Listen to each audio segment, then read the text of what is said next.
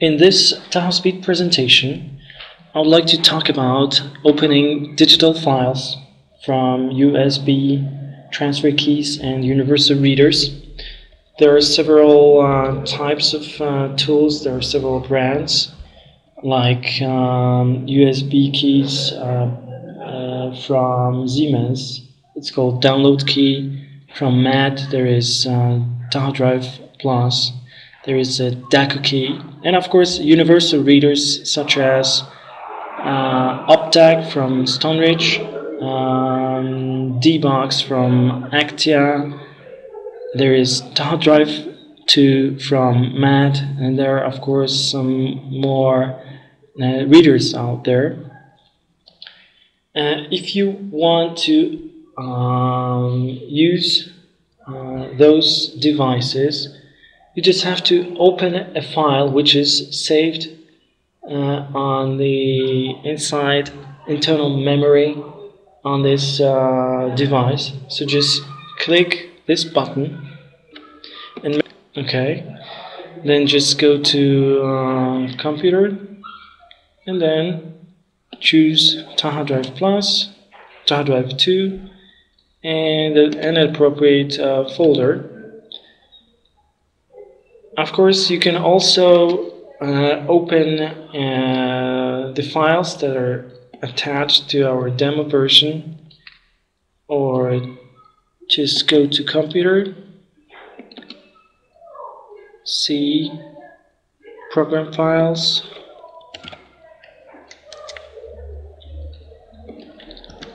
InfoLab, and Tachospeed, and then digital folder, and you will find some uh, files uh, in in there, and just click and open. Uh, of course, after opening a file, you will have some details of this uh, driver or this vehicle. If it's a file from a driver card, you will, you will find names and surname, card number, issuer, date of issue exp expiration date, date of the last control, and a signature. In here you will find an incorrect signature because this file was, um, we changed the names um, of the driver, we changed the registration plates in this file. That's why the, the file has an incorrect digital signature. And you can find it in here, some details in here. Right? This segment, this segment is not properly signed. Vehicle used is also signed incorrectly.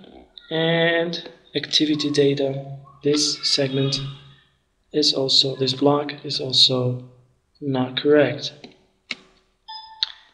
Then after that you're gonna uh, just add a driver, add some vehicles, and of course while adding your vehicle you can switch to deadlines and expi expiry dates. And here you can just put uh, those important dates. And those uh, dates are saved in uh, in Tachospeed Reminder, and this reminder will um, show you next uh, expiry dates for safety inspection, tachograph inspection, all all that. And this vehicle, of course, and after uh, importing a file you will find this uh, file in a uh, repository. This is the file. And you can choose this name. You can view his activities in here. In this year this month and this day. Of course, all these activities in here